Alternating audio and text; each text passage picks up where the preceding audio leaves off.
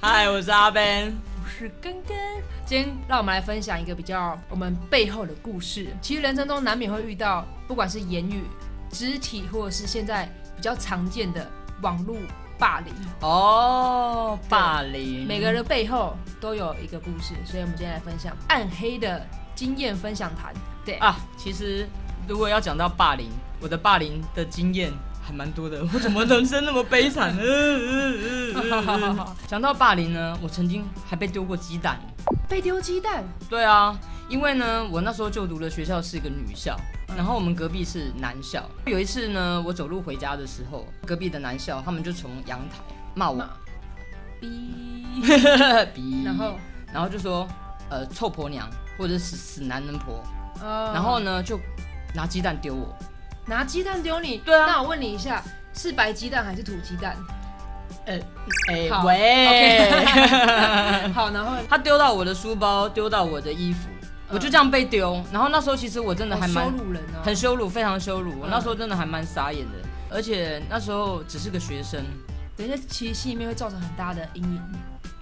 对，那我今天也来分享我的切身之痛，因为我国中的时候就表现出这样比较中性的样貌，然后我也喜欢的是女生，然后我们班导就帮我安排了心理医生到学校，然后 心理医生，对，然后中午的时候跟我说，那个你到保健室跟那个心理医生聊聊，说不定能给能够解开你为什么会喜欢同性的这个病。他是说病哦，他是说病，怎么会认为同性是个病呢？对，而且他很怕我带坏我们班的其他人。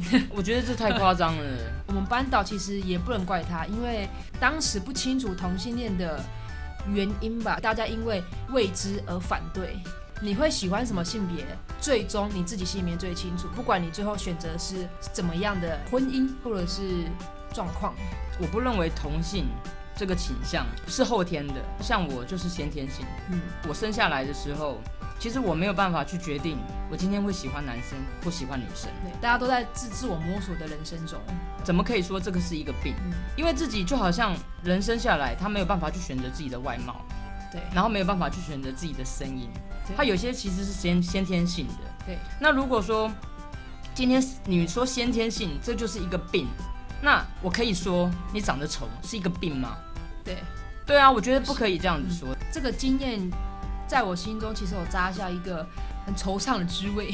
好，我安慰你，我安慰你。好好好，我还可以再分享一个呃，我被霸凌的经验，然后又是一个肢体霸凌。这是我在工作的时候，然后那时候呢，我们呃下了班要去一个女同事家，然后那一天呢，我穿的是呃运动裤，然后我那个运动裤呢是两侧全开式的扣子。哦，感觉很性感。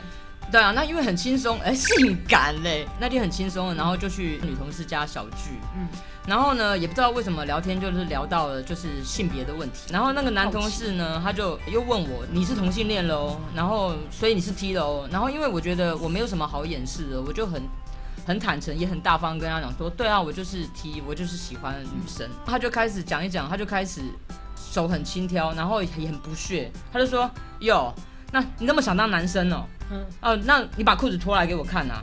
那那时候我就以为他在开玩笑，我就会觉得说，我为什么要把裤子脱给你看？他说你不是想帮男生，你不是想当男生，就开始推我，嗯他就把我直接这样子拖过来，然后把我的裤子这样子整个扒开哦，嗯，整个扒开，在在场其他的同事都在看。他们觉得好笑，所以他们是笑，然后我就说玩笑不要开的太过分。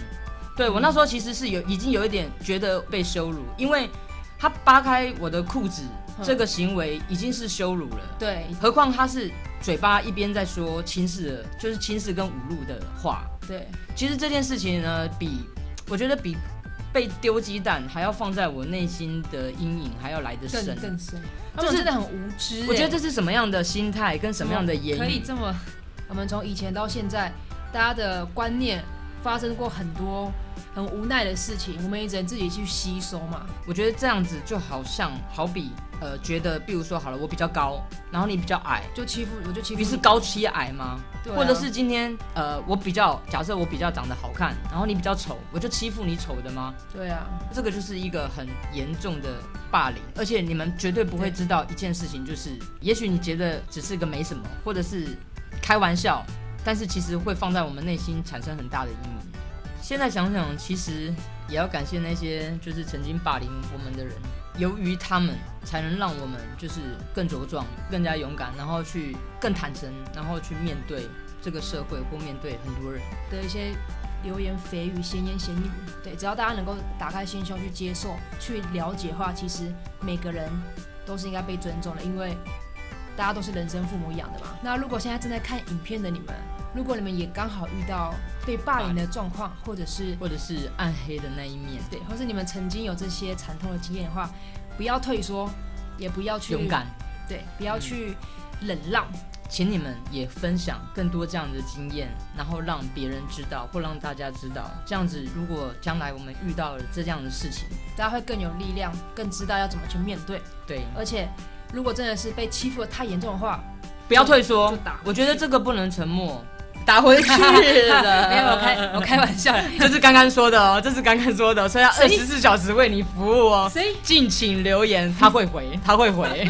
好，好了，今天 如果你们有一些什么回忆或者是被霸凌的经验的话，欢迎你们跟我们分享，或是你们有一些对抗的鼓励的过程的话，都可以跟我们分享，在下面留言。对，然后别忘记订我们的 YouTube 频道 Ben and Drive，我是阿 Ben，我是干干。拜拜，下次见。